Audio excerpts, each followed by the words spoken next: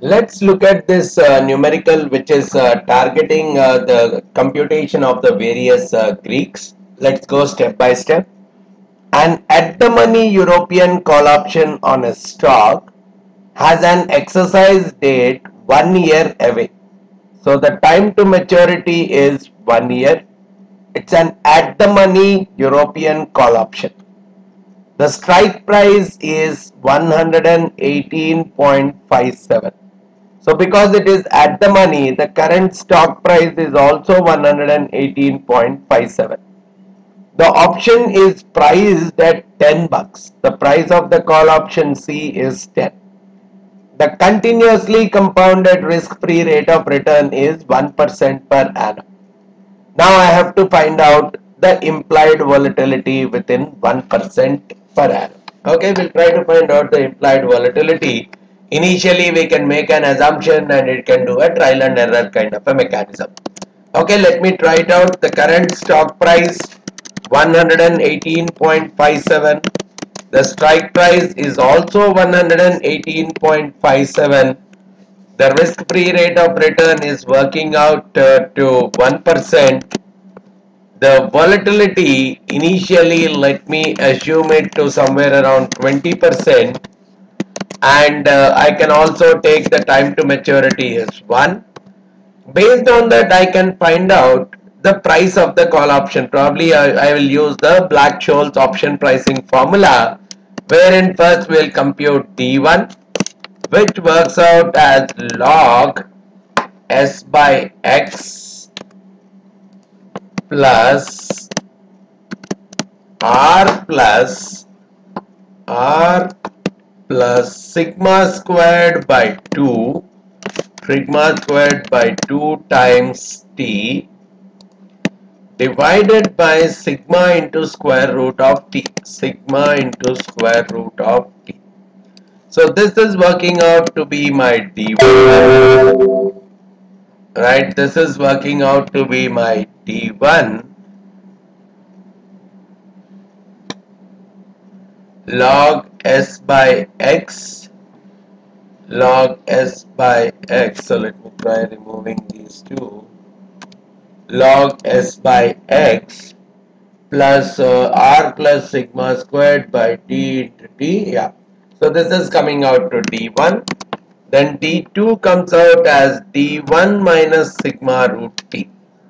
So sigma into square root of so D2 is coming out to this. Then I can take phi of D1 or probably the standard normal distribution value of D1 cumulative uh, standard normal distribution which I can get through the norms dist function here goes with uh, around 0.55 and the same exercise if I am doing with uh, ND2 again a similar kind of a mechanism is going to lead me to this.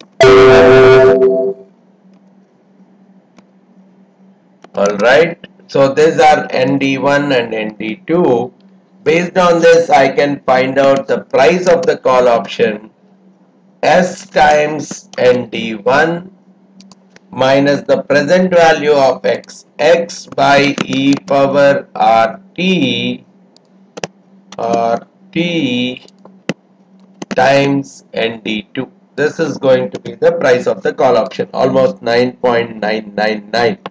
So obviously I can uh, very well uh, say that uh, even if I do a little bit of adjustment to make it very close to 10, all I can look at is I can do a quick uh, goal seek kind of stuff where I want to set that particular value to be 10 and I want to change the underlying volatility, I don't see a big change at all. The volatility is still at 20% only. So this numerical is leading me to a computation of implied volatility in the process of 20%. Okay. Now that I have uh, around 20%, I am able to uh, say that this is the uh, this is the volatility in the process. Now calculate the corresponding hedging portfolio in shares and cash for 1000 options on the share quoting any results that you use. Now 1000 options. Now what is, uh, uh, so if I have to create a hedging portfolio, first of all I am going with the delta. The delta wise, I need to know the delta of the portfolio. So the, the delta of uh, the option here is ND1. ND1 is the delta of the option which is 0.559. So for uh, one single option the delta is 0.559. So I am going with 1000 options so which means uh, I am expecting the delta of the options position delta of the option position I'm actually uh, having it as 1000 times this number.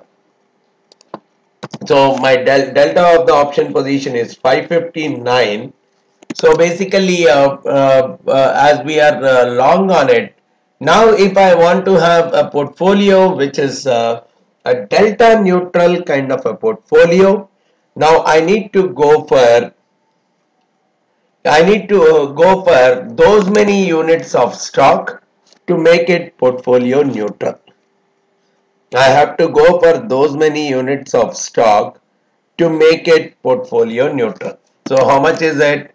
559 559.6177 units of stock needs to be gone with.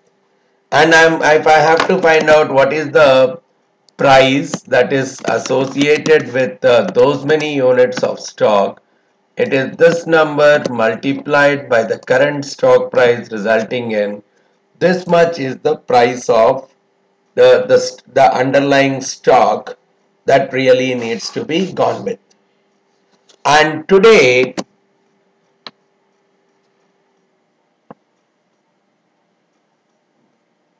and how much of uh, cash do I really uh, require here? See, when I am creating this kind of a uh, position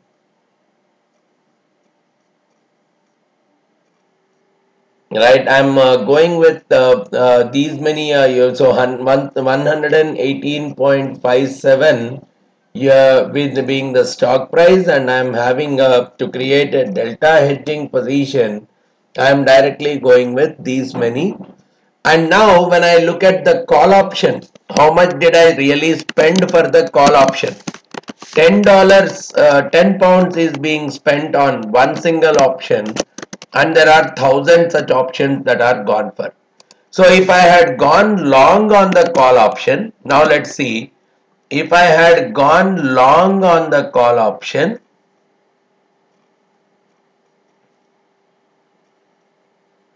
right if I'm gone long on the call option probably I would have spent 10,000 bucks on purchasing 1000 options.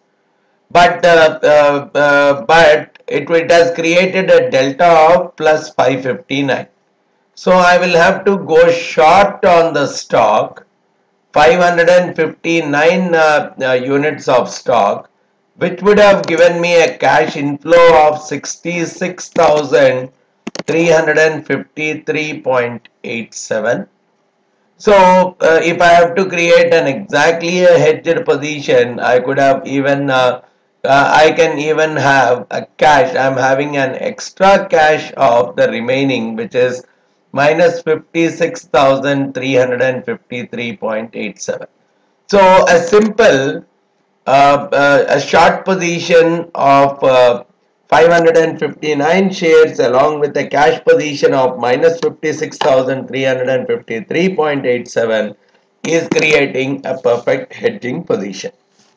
Right? Alright. Now we are also looking at the calculation of the Vega of the call option. Okay, how do I, so Vega is what, what is the percent, I mean, rate of change in the call option premium with respect to the stock price with respect to the volatility. So now we know that the call option premium is S times ND1 minus XE per minus RT times ND2. Even going with the Garman-Kohlhagen formula, we also know that we also uh, know that S times N dash D1 is same as x e power minus RT times N dash D2 right? So what I can very well uh, look at is do, uh, here I could uh, I could very well uh, use up that particular uh, formula uh, where I can substitute one in the form of the other. So this I can take dou by dou sigma uh, s and d1 so I can take it as s times n dash d1 right? If I have to differentiate this if I have to differentiate this with respect to sigma it becomes s into n dash d1 dou d1 by dou sigma minus x e power minus rt n dash d2 dou d2 by dou sigma. Now this entire thing can be taken to be the same so all I can get is s n dash d1 times dou d1 by dou sigma minus dou d2 by dou sigma. Now we know that uh, d2 equal to d1 minus sigma root t. So we'll take the derivative with respect to sigma on both sides. Dou d1 by dou sigma is dou d2 by dou sigma is equal to dou d1 by dou sigma minus square root of t. So the difference between these two is nothing but square root of t. So overall comes S n dash d1. So the vega comes out as S n dash d1 square root of t.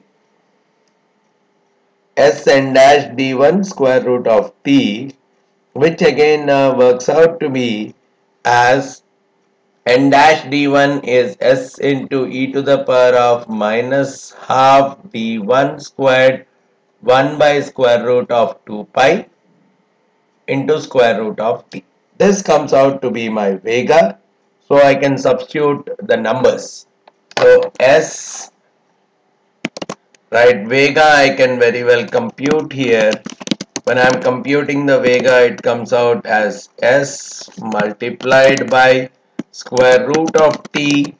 Okay, this is my square root of t I am multiplying it e to the power of minus half d1 squared e to the power of minus half d1 squared this is my d1 d1 squared divided by square root of 2 pi. So overall the vega is working out right? I am simplifying the vega to be somewhere around 46.773 the similar kind of a calculation has given me the vega of the option through this mechanism either I can remember this formula s n dash t d1 into square root of t or I could have derived through that kind of a mechanism that we have talked about. Price a put on the same stock with the same expiry date and the same and a strike price of 110 right? Same stock same expiry date everything remaining the same now I want to find the price of the put option so probably the, the expire the, the strike price I'm taking for the put option is this much. Rest all remaining the same. So the call is becoming 14.69 now.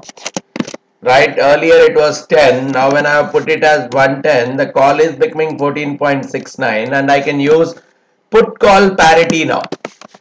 Because of the put call parity which we have uh, initially uh, discussed, the difference between the call option premium and the put option premium is S minus XE power minus RT. So from here I can say put is C minus S plus XE power minus RT. The same logic if I put now, the price of the put option is the price of the call option minus the spot price plus the present value of the strike price. X e power minus rt So this is giving me that the price of the put option going with the call put parity relationship is somewhere around 5.03. Alright, so this part is also fine. The hedging portfolio of the call option has the same value, same delta and same vega as the option. Right? Hedging portfolio of the call option has the same value same delta and same vega of the option. The delta of the put option is minus 0.29975 and the vega is 39.435 now from here I really want to find out the hedging portfolio of the call option in terms of this now we have uh, some X number of shares, Y number of put options and probably a, a Z number of Z amount of cash to match the delta and vega. Now from here we know that okay X number of shares right uh, uh, when we are uh, looking at the x number of shares the delta is x. And when I'm uh, looking at y number of put options the delta of the put option is delta p. So x number of cash does not have a delta. So this should be equal to the delta of the call option. So this is one expression that is coming out whatever is the investment that I am putting x number of shares into a share price S, Y number of shares with a put option price P and uh, uh, Z amount of cash, this entire thing should be equal to the price of the call that is 1. Then finally I am looking at the Vega also. Vega for an option, right? So for Y number of options I am going for a Vega of a put option. Is we know that the vega of the put should be the same as the vega of the call but yes here uh, the put is of a different strike price and call is of a different strike price. So what I can say is y times the vega of the put should be equal to the vega of the call now vega of the put we have already uh, got. This is the vega of the put we have got the vega of the call is around uh, when I have uh, taken 118 we have got the vega of the call is 46.59 the vega of the put is 39.43 so from here I can very well find out what is the value of I can find out the value of uh, y how many uh, put options right? The vegas wise the shares don't have a vega the cash doesn't have a vega. So I can directly uh, find out uh, uh, y purely from vega of the put and vega of the call. We know that the vega of the call is this much. So I can uh, divide this by the vega of the put 39.345 so which will give me a direct uh, value for y so y is known from this equation directly how much that I have to invest in the put option. So I'm uh, I'm putting uh, I'm by I'm going for 1.18 uh, puts fair enough. Then from here I can find out my x which is uh, the number of shares that I have to go with and from here I can find out what should the amount of cash position a simplification will give me the overall hedged portfolio in the process. So Greeks and doing the hedging based on the value of the Greeks will be something in this manner, right?